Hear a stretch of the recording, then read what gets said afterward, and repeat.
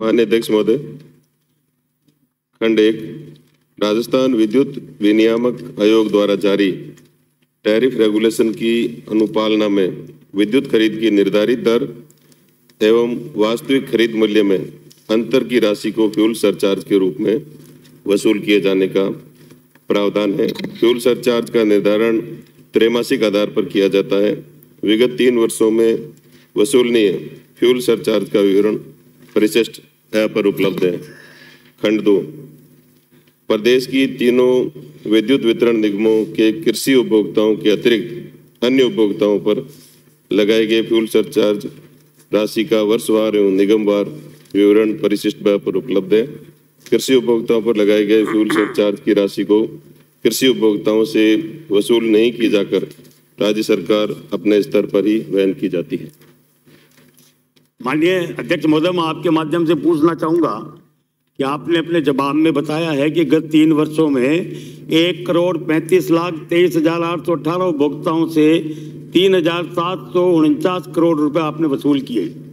इसमें मैं पूछना चाहूँगा कि घरेलू उपभोक्ता तो कितने थे और औद्योगिक उपभोक्ता कितने थे और कमर्शियल उपभोक्ता कितने थे? और दूसरा मेरा प्रश्न है कि जो आपने ये जो सर बताया है कि कृषि उपभोक्ताओं पे लगाए गए फ्यूल चार्ज को सरकार वहन करेगी तो क्या डोमेस्टिक उपभोक्ताओं के जो फ्यूल चार्ज है उसको भी सरकार वहन करने की मंशा रखती है कि नहीं रखती? और तीसरा मैं ये पूछना दो दो दो का जवाब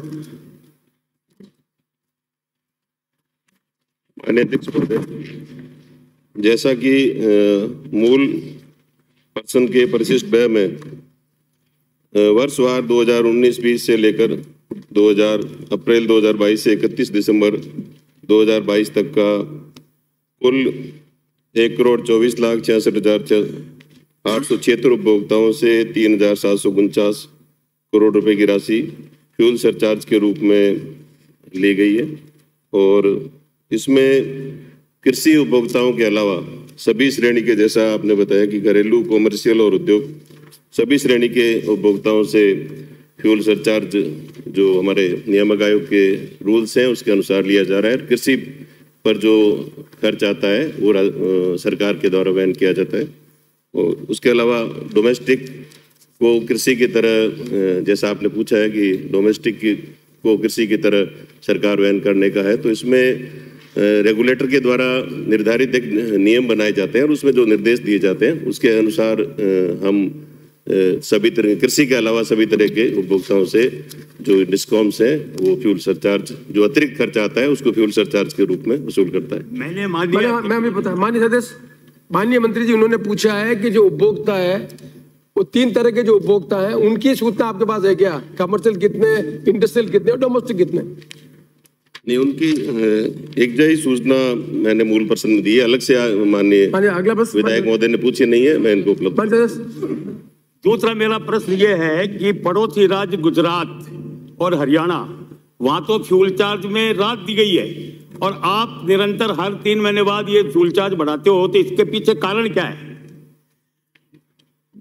मान्य अध्यक्ष महोदय, जो मूल प्रश्न के मैंने उत्तर में भी जवाब दिया है कि जो राजस्थान विद्युत विनियामक आयोग है उनके द्वारा जारी टैरिफ रेगुलेशन जारी किया जाता है।